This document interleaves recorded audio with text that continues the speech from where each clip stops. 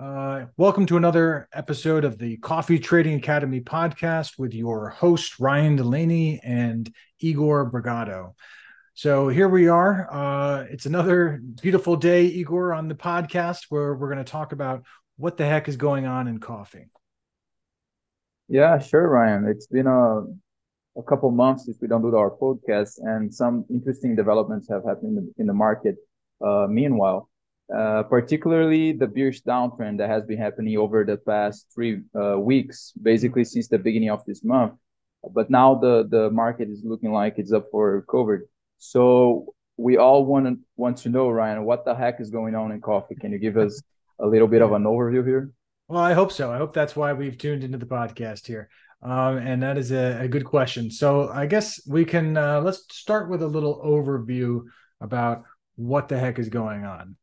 Now, one thing I'm going to point out here, though, is that we're not giving a, a forecast here. We're not doing a, um, a real detailed analysis um, in these podcasts. We do that for our premium reports. We do that for our premium subscribers. So you can check that out if that's something you're interested in. But instead, what we're going to do in this podcast is just talk about what are the major concepts that are happening right now. What is what's the big picture, um, you know, back and forth between the bulls and the bears and coffee. So I always like to start out with big picture context. So we are coming from a period of scarcity, right? Uh, we had that uh, uh, frost in 21. Uh, we had all of the drawdown in certified inventory. We had a big bull market that went up, you know, up to 260, and then the more recent past is really this this bear trend that you were talking about. So for the last year or so uh, we've really been in a bear market. You know the the, the irony perhaps is that the fundamentals are not particularly bearish. It's not like oh everything's fine now. They're actually still kind of bullish in a lot of ways um, but they're better than they were. And that relative difference is really one of the driving factors in in the bear market the the relative difference and also the expectations of the future. Because what's one of the things we always say uh, about the coffee market? Coffee market is forward looking, right? So we're looking forward to the next crop, we're looking forward to the next um, uh, story, uh, and that's really been uh, that's really a constant driver uh, to the market, and that's one of the reasons why the coffee market sort of defaults to bearish. It's because we're always looking towards a bigger Brazil crop, and that's really what what we're looking at now. So uh, one of the key factors where I said that it's not entirely uh, bearish, right? That there's still a lot of bullishness in the fundamentals. And what I mean by that um, is that if we look at destination market supply, it's still tight, right? And uh, one of the most visible uh, ways of seeing those stocks is with the certified inventory. Now we could look back even further. I think this is a, a six month chart you put up here for us, Igor. Um, and if we look back uh, even further, if we look back a year, you'll just see that this downtrend uh, extends even further than that. So we have a very strong downtrend uh, in the certified inventory. If you were to look at a five-year chart of the certified inventory, you would see that we're we're well on the lows of that five-year period. In fact, we're we're really near the lows of more like a 20 year time frame right? So this is very low certified inventory. So it's kind of odd that the coffee market has been in a year long bear market when we've been seeing drawing stocks we've been seeing depleting stocks. So i think you know the question here is is what the heck is going on right? Why why are we in a bear market if we have low stocks, if we have tightness? Um, and uh, I think the key to understanding why we are where we are now and where we will go in the future is really lies here in the cert stocks and in what's going to happen uh, to the cert stocks. Yeah, that's interesting to know. Uh, indeed, cert stocks are low and they have been stabilizing for a while pretty much if you look at the chart there since the end of may and basically nothing really interesting has been happening since then we're not going down we're not going up so right. the question that i think most of uh, us are asking here in the market today and especially with the brazil crop and all upcoming crops in october hmm. coming in is is there a way that we can uh, predict if and when cert stocks can uh, rebuild? Yeah, exactly. I think that's that's exactly what what we're looking at now, which is okay, what's going to happen in the future? How can we predict what's going to happen with certified inventory?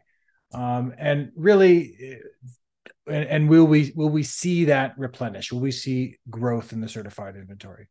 Um, and I think the answer to that really lies in this concept of tenderable parity. So uh, let's take a step back here before we talk about tenderable parity and just talk about what the cert stocks mean for a second. Now, the certified inventory uh, for any commodity market, but but this is certainly true for coffee, is what keeps the price of that futures market real. And when I say real, what I mean is that the price of futures has a correlation with the price of physical coffee, right? If they didn't match, then there would be no point in having that futures market. I mean, why would we even say that it's the price of coffee, right? We just say it's the price of this obscure financial instrument. Uh, so the reason that we say that this is a coffee futures market is because the price of that future, that futures contract, matches the price of physical coffee. And the way that those prices match is through certified inventory. So certified inventory means that it's actual physical lots of coffee that has been certified, it's been inspected, and it's been approved by the exchange, by the uh, ICE exchange, to be uh, fungible, to be transferable for a futures contract. Okay. So if you buy a futures contract on the exchange, then at the end of the life of that futures contract, you can hold on to your long future and receive physical coffee. You'll receive that certified coffee.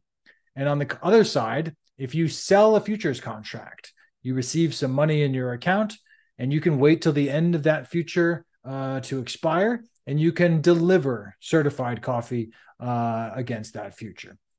So, because you can change, you can exchange your future for that certified inventory, that means there's an arbitrage opportunity, which means that the the price of that future will never deviate very much from the price of the physical coffee. Why? Because if your physical coffee was very cheap, then you could sell futures and deliver that cheap certified coffee uh, and make a profit. If your physical coffee was very expensive, then you could buy futures and take delivery of that certified coffee. And that's exactly what happened is that physical coffee was very expensive. And because it was expensive, roasters, traders, consumers were buying futures and taking that certified inventory because it was cheaper than actually buying new coffee. And because of that, we had this drawdown in certified inventory. Now, to your point, the question is how do we tell what's going to happen in, in the future? Uh, and that is where tenderable parity comes in, right? So I kind of alluded to how we can uh, predict that change a little bit, right? Where I said that if the price of physical coffee is very cheap, then people will want to certify that coffee. If the price of physical coffee is very expensive, then they'll want to consume that certified inventory. All right. Are you with me so far? Just making sense, Igor? Yes, that's making sense. Cool. All right. Uh, so let's look at uh, how we actually do that calculation. So there's a there's a, a calculation that is standard throughout the industry, uh, and that's called tenderable parity. Now the words tenderable parity literally mean the break-even price at which you can sell coffee, right? So you can tender your coffee. So it's the break-even price to sell coffee to the exchange. Right now, this is a key concept in any commodity market, um, and it, any sophisticated trader knows about tenderable parity and they know how to calculate it. Now, it's the math is relatively simple. The challenge is finding all of the different prices to plug into your your formula here. But essentially, what you're doing is you're saying, what is the differential price? What is the purchase price of physical coffee? What is the price to uh, ship that coffee to an exchange approved warehouse um, and what is the price to get that certified uh, by the exchange all of the sampling, the handling, the fees, uh, you know, tariffs, all of that stuff. You take all of those prices together, you add all of them up, and if that equals uh, zero, then that's parity. Okay. So, and if it's uh, um, more expensive, then it's a loss, right? And if it's less expensive, then that's a profit opportunity. So maybe that sounds all very kind of abstract if you're not looking at the slide here. So let's let's use an example to to try to make this a little more clear. So if you buy a Colombian coffee and you want to sell that to the exchange, here's how you look at the math. The exchange recognizes that Colombia is a premium quality versus other coffee qualities. So you actually get a bonus. You get a, a four cent bonus to deliver Colombian coffee. So whatever your purchase price of Colombians are, let's say it's 10 cents, right? For a, a quality that is tenderable to exchange, uh, and it costs you 10 cents over the market to buy that Colombian coffee. Now we take into account that premium that the exchange uh, gives you, and which is four cents. So it costs you 10 cents to buy the coffee but you get four cents back. So your real cost is only six cents at that point. Okay. But now we have other costs to add in. We have the freight cost, which is uh, seven cents. So seven plus uh, six is 13. Then we have the cost of the warehouse. Let's say that's two cents. So 13 plus two would be 15 cents. And then let's say we have uh, logistics and handling costs of a penny, right? Uh, so that would be one plus 15 is 16 cents. So we've taken our total cost, our, our purchase price, which is 10 cents. Uh, we subtract our premium, which is four cents. So now we're down to six cents uh, cost. We add in handling of one cent. So that brings it up to seven. We add in warehouse. That brings it up to nine cents. Uh, we add in freight of seven cents, and that brings up to 16 cents. So in this calculation, it would mean that it would be a 16 cent loss to buy physical coffee and tender it to the exchange, right? Even with that four cent premium. Now, if that's confusing listening to this on the podcast, all you need to know is this you're going to add in all of these different prices. And if it equals zero, then it's going to be break even. And if it equals uh, uh, less than zero, then it's a profit. So let's use another example where um, where maybe it's profitable. Let's say um, a coffee that uh, goes for that has no premium or discount. And we can see the, the schedule here. So uh, a Ugandan coffee or a Honduran coffee, those have no premium or discount versus the exchange. So it's uh, the, the, the exchange will not give you any benefit or discount against that. So let's say uh, you can buy uh, Honduran coffee for minus 20 cents for 20 under, right? And we add in uh, seven cents of freight we add in uh, uh, two cents of uh, um, transportation to the warehouse, one cent of handling. That's minus nine, right? So 20 minus nine would be 11 cents. So in that case, we would get an 11 cent profit to deliver to the exchange. Okay.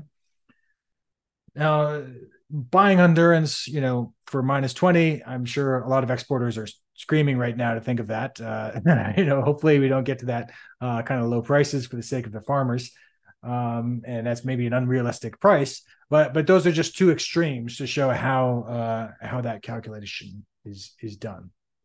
And there's also there's also a premium or discount uh, based on the port that you're delivering to, uh, but that's not super important. So the key here to bringing this back to how we predict certified stocks is we need to predict physical prices. And then we need to see predict all of the freight costs. And then we can calculate uh, whether or not those coffees will be tenderable or not. So the question on everyone's mind here now is will brazilians be tenderable uh, and that's uh, that's the the most likely coffee uh, in the current environment where that tenderable parity could occur. So um, that's actually something that we do a, a full analysis on. We're going to do a white paper for our, our premium clients uh, this week, where we do all of the calculations and we talk about our predictions on when and if uh, and how this can occur. Um, but this is that's the the general uh, the general um, concept, and that's how we would go about thinking about the market. Okay, so basically, uh, the tender parity would be uh, a level in which it's economically interesting to certify coffee. Yeah. Uh, so the exporter, the trade, would rather certify coffee into the exchange, the ICE exchange, rather than uh, finding a, a, roaster to to sell to on the exactly. open market. Uh, so it's interesting that you mentioned the, uh, and it's it's something that people that are listening on the podcast might not get because it's visual here for us. But it's interesting to note uh, also that uh, you need to select specific qualities. Right. Right. If you if you do this calculation by selecting a quality that's not tenderable to the exchange, then your map won't work. And I think that one when when you talk about this, the main question that goes to my mind is is it possible to get new certified coffee even though we are not in tenderable parity? Because yeah. if you're looking back at history, uh, for there are some instances in which we we did got new certified coffee, but thieves were uh, far from tenderable parity. So how do we explain that? Right. It, it's a it's an interesting question, and it's something that you know I, I recently chatted about with some uh, other analysts on this podcast here. Um, and you know i've been looking at tenable parity for a long time um, you know the last you know dozen years plus that i've been trading coffee uh, and looking at coffee and it seems like it's kind of rare. It's it's it seems almost unusual that we actually reach tenderable parity and yet we still get to these uh, points where you get big stock builds or we get certified uh, stock builds. So why else might we uh, build stock? Um, so before I answer that, I will say that I, some, you know, I, I asked this question to uh, an analyst friend of mine uh, recently, and they said, "Look, we we think we believe, not us, but the, the analyst who I asked this of said we believe that for the most part, certified stock is only going to build when you when we've actually reached that tenderable point." Now, I also know many other people uh, in the trade who say that there's actually other reasons too why people would certify coffee. Um, and one of the biggest ones that I hear is financing. So banks love certified coffee because to them it is liquid collateral. Okay. So if you are a trade house and you own a bunch of coffee in your warehouse, yes, that coffee is collateral, um, but it's not liquid, right? You have to find buyers for all of those lots of coffee. However, if it is certified, then in theory, you can just sell all of that immediately on the exchange in a perfectly liquid market uh, and get rid of your coffee. So if you are a creditor, if you're a bank looking to give loans to a trade house, and the trade house has certified coffee on their book, then that's attractive. So one of the the primary reasons um, that I've been given that uh, an exchange that a, a, company might have certified coffee, even if it's not uh, at a point where it's tenderable parity, uh, is they might certify that coffee to serve as collateral so they can uh, gain financing. So that's that's the the one big reason why uh, we might see builds in certified uh, coffee, even if it's not at tenderable parity. Now, the other reason, and this is maybe a little bit more controversial, is that there could be a, an incentive for trade houses to certify coffee to show the market that there is coffee available. In other words, they're trying to influence the market, right? Um, they may not have any intention of actually selling that coffee uh, for the futures, but they want to show that there is a build in certified stocks so they could they could, in theory, certify a bunch of coffee that they have no intention of of delivering, um, or you know that maybe they think will be, uh, you know, will make sense at some point, but they're just certifying it in the present. Okay, so this could be coffee that they already own. So those are the two primary reasons that uh, we might see uh, certified stocks increase, even if we don't actually reach that tenderable parity. Now, uh, I think there's one other thing that I wanted to talk about this week. We talked about, you know, what's going to happen with um, uh, certified inventory, um, but also we have a guest coming on the podcast uh, next week who's going to be uh, who's a meteorologist. Who's going to be talking about uh, some weather events coming up. Uh, and in preparation for that, uh, Igor, you've just done some research on El Nino, right? We're in the middle of an El Nino event now. Um, so, how is in preparation for that podcast? What's your understanding of, of, what El Nino is and and how it generally impacts the coffee market?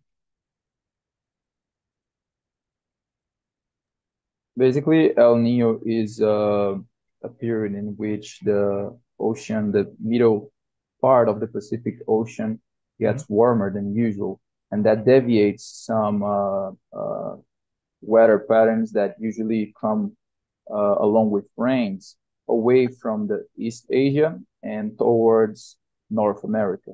So it results in some uh, uh, rainfall imbalances mm. but that's specific to some areas and also specific to uh, how the El Nino event uh, is. Uh, and we're talking here about if it's a strong event, if it's a mild, or if it's a weak event. So all of these things uh, influence, and it's really hard to talk uh, about that for coffee in a simple way because we got lots of different origins in uh, lots of different places worldwide and right. they uh, they react in different ways. Okay. So what uh what I found in uh in my research here is well, let's that, uh, if we can if we can stop you for a second here uh, just to recap what you just said. So basically, we're talking about sea surface temperatures, right? And not only yes, surface exactly. temperatures, but subsurface temperatures too. And specifically, as you mentioned, this is in the Pacific Ocean, right? So there's a band along the equator of seawater. And my understanding here, based on what you said, is that that seawater um, fluctuates in temperature. Um, and it when it reaches a certain heat, a certain uh, high temperature, um, then kind of there's sort of a, a, a circular flow between the top of the seawater and the bottom of the seawater where it's cold. So there's this sort of circular flow. And what a lot of people don't know who haven't studied meteorology is that the temperature of the ocean is a big driver in weather patterns all around the world, right? So when we get this El Nino event, um, it's a specific temperature pattern of the seas, right? And that drives all of these other weather events around the world. Is that is that fair? Yeah, that's fair. And basically, uh, that creates different of uh, pressure. So this pressure differential creates uh, deviations from the usual weather patterns, patterns like the mm-hmm. tropical jet stream and the tropical convergence zone. Right. And uh, like I was saying, it's uh, it's it's uh, different origins will react uh, in different ways. And I think the the biggest question people might have is what about Brazil, right? Because it's the the major uh, coffee origin. And looking back at historical data and also looking at the maps, uh, the meteorology maps that show uh, El Nino's area of influence, hmm. it doesn't cover uh, specific coffee areas in Brazil. It more it's more concentrated towards the north of the country and okay. to the extreme south of the country. Uh, so basically, we don't see notable uh, deviations from typical weather in Brazil. But something interesting to note is that the average temperatures in Brazil tend to increase a bit, and this uh, comes as a mitigating factor to, to frost and winter. Oh, and coincidentally or not, we we we just passed through the peak peak of this winter without frosts or any uh, big frost alerts in Brazil. And uh, now, so yeah, so we had no frost this year. So it's not, you know, one to one correlation 100%, but it does seem like that during El Nino years, Brazil's a little bit warmer and therefore maybe a little bit less likely to have frosts, right? Which is what we saw this year. Yeah, and I'm here in Brazil, and I can say that this winter had no no cold at all. It's just like summer. Yeah. So basically, that's it. And uh, looking back at historical data, what becomes clear is that El Nino tends to have more impact on the Robusta origins, the big oh, ones, okay. uh, Vietnam and Indonesia. Right. And uh, that makes sense because they're more, uh, they're located closer to the El Nino center, which is the, the Pacific. Right. And they're the ones that uh, get less rain when the usual rainfall patterns are deviated to the right because they're on the left. So basically looking back at historical data in this slide here that we have, you can see that the 2006 and the 2015 El Nino events were strong ones. And uh, Vietnam experienced major drops in production during these periods. And uh, that's also true for Indonesia. Indonesia wasn't harmed in 2006, but it was harmed in, in the uh, 1998 El Nino event, which was the most aggressive one by historical standards. Hmm. Uh, so basically, these crops uh, they get less rains, so the dry period can extend, and they uh, can have uh, dry weather in blooming in the case of Indonesia, or in the later stages of cherry growth in the case of Vietnam. So again, looking back at, at historical data, it, what it seems is that we need to have a strong El Nino to see uh, noteworthy deviations from the in the production of, of Indonesia and Vietnam, like big disruptions. Right. And uh, in a, a year like this year, where we you know have been um, having robusta deficits and, and high robusta demand, this would be a big a big deal indeed. Uh, and in our premium reports, we do talk about our predictions for this and what we see um, in the forecasts. Uh, but this is just sort of the, the general overview of what we, we see. And uh, in our podcast next week, when we have our meteorologist on, uh, we'll talk more in detail uh, with him about this um, and uh, and what he's seeing in crops in general. But I think that does it for uh, this uh, this episode of what the heck is going on in coffee. I think we talked a lot about what the heck is going on with the certified inventory situation, the tenor parity, and with this overview of, of El Nino and the risks to the coffee market there. So uh, I think that's it. Uh, unless you've got anything else for us, Igor. I think that's all. I think we basically covered everything we we wanted to today. Great. All right. Well, thanks for tuning in. Feel free to uh, check out our website, uh, coffeetradingacademy.com. Uh, we'd love to have you guys as subscribers. Uh, that is uh, how we uh, earn our living. So, yeah, feel free to uh, check that out for a free trial and give us a try. And always reach out if you ever want to chat the market or you're interested in, in learning more about what we do. All right. Thanks for tuning in this week, everyone. Take care. Thanks, guys.